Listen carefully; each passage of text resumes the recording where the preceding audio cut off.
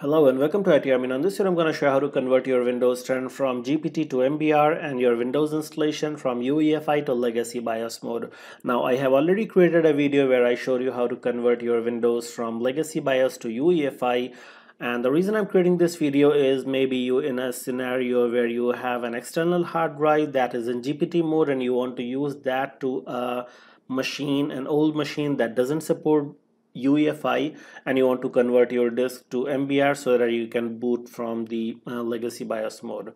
Now the second scenario could be that you have a new machine where your Windows installed in UEFI mode but you have some hardware failure. It could be you have got a bad motherboard or you have RAM not working properly and you want to just take out the hard drive and put it in some old machine that doesn't support UEFI mode. So in that case, you can convert your disk from GPT to MBR and then put it in the old machine that can boot from MBR. So in this entire video, I'll be going over the process how to convert your disk from GPT to MBR and then booting up in a legacy BIOS mode. So I will be showing the two different ways to perform the same thing using two different software. The first software is Minitool Partition Wizard. It's a free version software that you can use. Some extra steps are involved in that case. And the second option is you can go with the professional edition of EaseUS Partition Manager and then you can simply perform the operation without any additional uh, configurations involved. So without further ado, let's get started. Okay, so I'm logged into Windows 10. Uh, this Windows installation is in UEFI mode. So if I go to Disk Management by right-clicking the Start button and selecting Disk Management, and here you're to see that your disk partitioning style is GPT. So if I right-click the disk and select the properties and go over to the Volume tab, and from here you can see that the disk is in GPT. So uh, Windows doesn't provide you an option to convert the disk from MBR to GPT or GPT to MBR until you delete all the partitions. So that's not what we want to do. So we will be using a third-party tool, uh, Minitool Partition Wizard free. This is a free version. So I've already installed it. So I'll just go ahead and launch the application and I accept the user account control. And from here you can see that I have got this disk. I can simply right click and select the option convert GPT disk to MBR disk. Uh, you can also select from the left hand side. You have option over here. Just simply click on that and it's giving you a warning that this disk contains system partition and converting this disk to MBR partition style may cause your system to be unbootable. So we are aware of that and we'll be taking care of that. So I'll go ahead and click on OK. And this is done. We have not applied these settings yet. Now one thing you're gonna see over here is that we have three partitions the system reserve partition that contain the windows re or the windows recovery environment the c drive that contains our actual windows operating system installation and the third partition that was the EFI partition that it has configured as active and system. So that's not what we want. We want this partition to be the active partition. So I will simply right click or you can just select from here. You can say set active and click on yes and now these settings the rural changes we have done we have to apply. So go ahead and click on apply. And yes. So it's asking you to restart. So it's gonna restart and apply those changes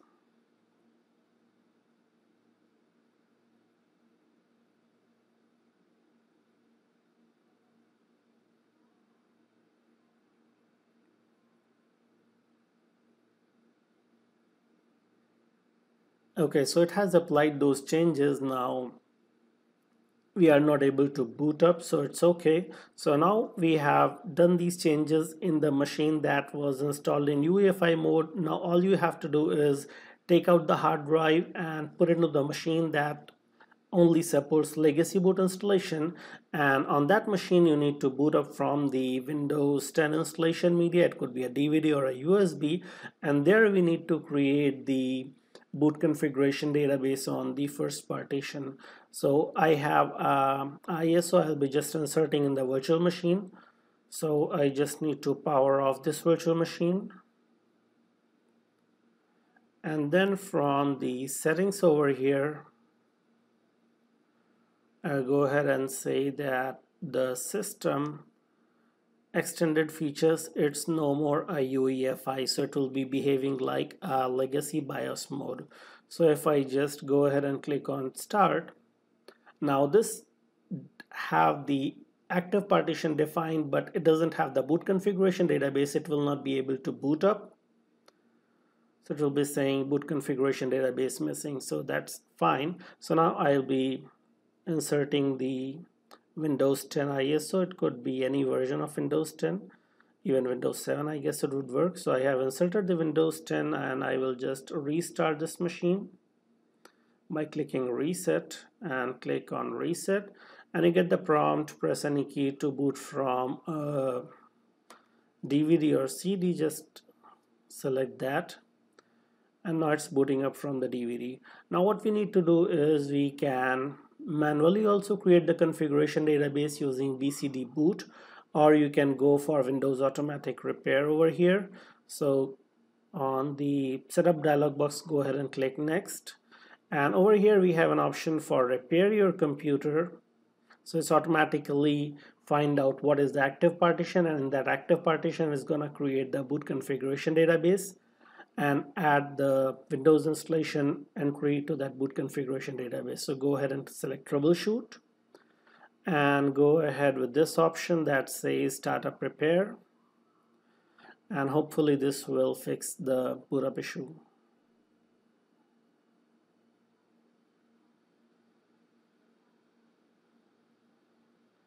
Okay, so it has repaired successfully. It's gonna restart. I don't need to boot from the DVD and I can see it has booted from Windows installation. And now I'm gonna show once it is booted successfully I'm gonna show you that your disk is successfully converted to legacy BIOS mode.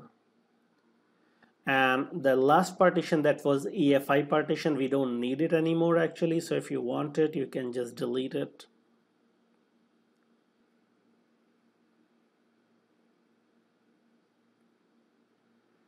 okay so now if I go to right click the start button and select disk management and there you're gonna see that the disk partitioning style is set to MBR so we have the the system reserved active partition the C drive and the EFI partition. So this if you want you can delete it. You don't need it I can click on delete and then extend the volume to use that extra addition 100 MB partition. Okay so this is done. So everything looks fine. We can also just verify from the MS info that we are in legacy BIOS mode.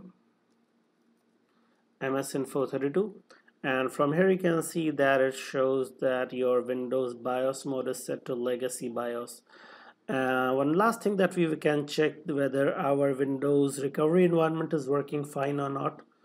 So just click type in CMD and run as CMD and run as administrator and just check reagentc slash info to check whether recovery agent is enabled or not. So it says that's enabled. So you're good to go. So that's how you can convert your windows from UEFI to legacy BIOS mode without actually reinstalling. So this was using the Minitool partition wizard. It's a free version. And in the next I'm gonna show you how to do the same steps using the EaseUS partition manager using the professional edition Okay, so the second method is using the EaseUS Partition Master. This is the professional software, paid one.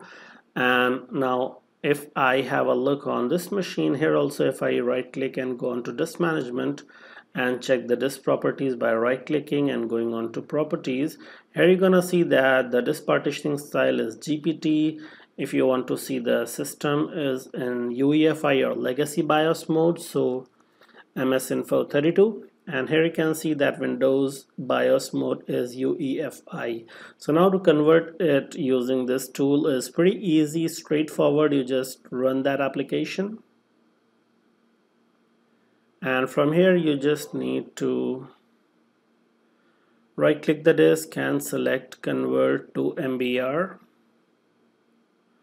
so what it does is it actually converts this disk as an active partition. So it sets this disk as the active partition so and this will be deleted automatically. You can see it says as unallocated so you can extend it later on. I will be simply applying these changes. So execute the execute this operation click on apply and right off the bat you will be able to boot up using the same installation media. We just need to go to the firmware settings and change the boot mode from UEFI to legacy.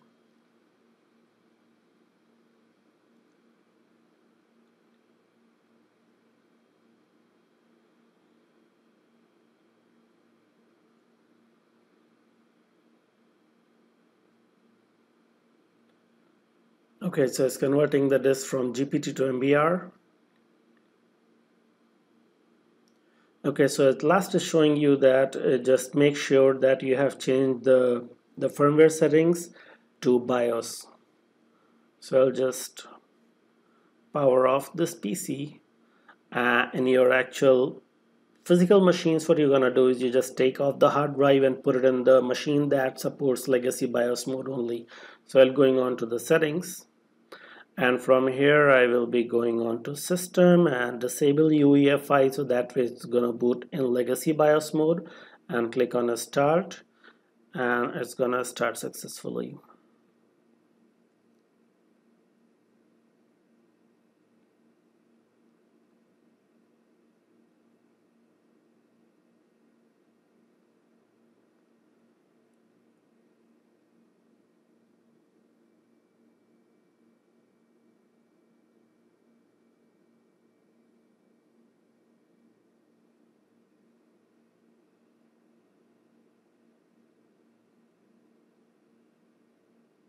Okay, so the only advantage of this method is that you don't need uh, Windows 10 installation media.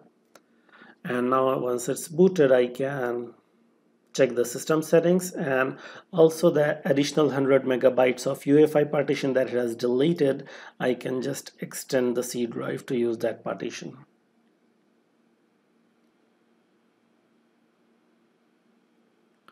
Okay, so now if I go on to system settings, uh, right click the start button and MS Info 32 here you're gonna see that your Windows is in legacy BIOS mode. If you want to verify your disk is in MBR or GPT you can just right click and go over to disk management. And from there you can see that this is your E drive it has assigned the drive letter so you can remove it if you don't want it and you can see over here in volume we have the disk partitioning style set to MBR and we don't want this partition to show up in the in your my PC uh, as it is appearing over here. So you can just remove the drive letter association by right clicking and say change the drive letter path and remove it. Yes. And additionally I want is on this 100 MB unallocated space to be used by the C drive so I can right click and say extend volume and click on next now another thing that will happen is that in case if you have more than four partitions in UEFI mode is gonna convert the all extra partitions to the uh, logical partitions so this is how you can convert your Windows from UEFI to legacy BIOS mode. Okay, now let's verify whether the recovery agent is enabled or not. So just go ahead and click the start button and type in CMD and run as administrator. And just run reagentc space forward slash info and saying that it is disabled. So just try to enable it and try again and it's successful. So if I say info and now you can see the recovery agent is enabled successfully. So that's how you can convert your windows from UEFI to legacy BIOS mode the free way and the paid way. So hope you like this video. If you have any other questions or comments please post in the comment section below and don't forget to subscribe. See you in the next video